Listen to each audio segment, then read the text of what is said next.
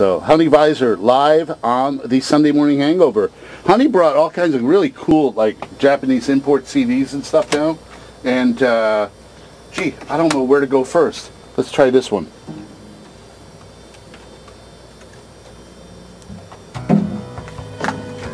All right.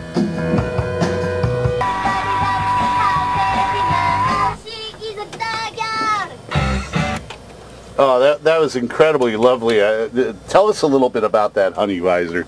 I, I don't know much. There's a I was just buying everything from that label for a while. Sister Benton. That, what's that? The Wonder 2000. Wonder Three That's Wonder Three. doing Guitar Gal. Yep. And and what was the name of the CD again? Um, Where'd it go? I think it's just their debut. Oh, it's just called Wonder Three. Yeah, that was that was lovely. Before that, let's talk a little bit about Guitar Wolf. Uh, they did a song called Diamond Honey. How appropriate! And uh, did you say you got to see those guys? I did. I was one of the lucky ones. Got to see them in Portland when they played a few years back.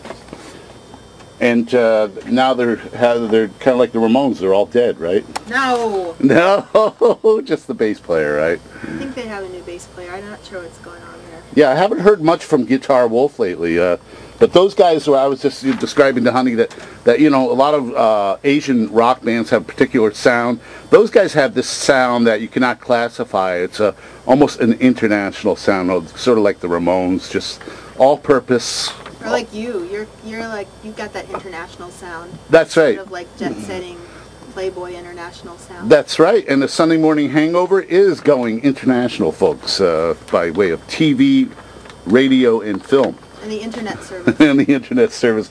By the way, this is the Sunday Morning Hangover with Honey Vizer. That's V-I-Z-E-R. Tell them where they could find you on the net, Honey. Oh, it's honeyvizer.com.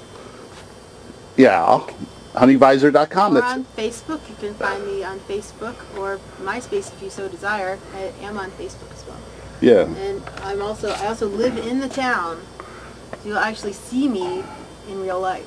That's right. You could see her walking from her house to the library and back every or day. like perhaps to a store that has food in it or a restaurant. You might see me going to the post office or at the post office. You might see me uh, anywhere within walking distance of uh, the center general region of Eugene, Oregon. The uh, the biggest honey Vizer, uh, uh, what shall I say, item in town is the Cowfish velvet poster hanging in the Cowfish Club and uh, done by Honey Vizer. And she's an incredible artist as well as a great musician. I'm way into the Dayglow uh, velvet painting situation at this stage. Yes.